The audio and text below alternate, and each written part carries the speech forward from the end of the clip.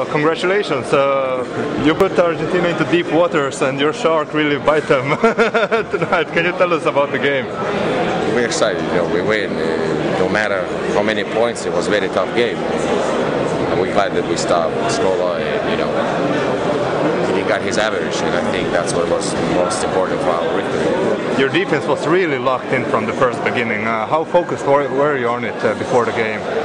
Well, you know, for me, personally, I got a lot of video clips for him, and my one goal was just to stop him and everybody else who was the big guys. I said to guys before the game, we're gonna win if we stop this guy, and it all depends on us. And I think we did it. How much did you scout them before? Because you were able to find, uh, not you, but Team Lithuania, were able to find open spaces all day long uh, through the, on their well, defense. You know, we were getting ready for two days, but uh, we know this team. This is not new team, something young. They are good, great, but you know, we young, fast, and I think more ambitions maybe for this game at least. Oh, okay, congratulations.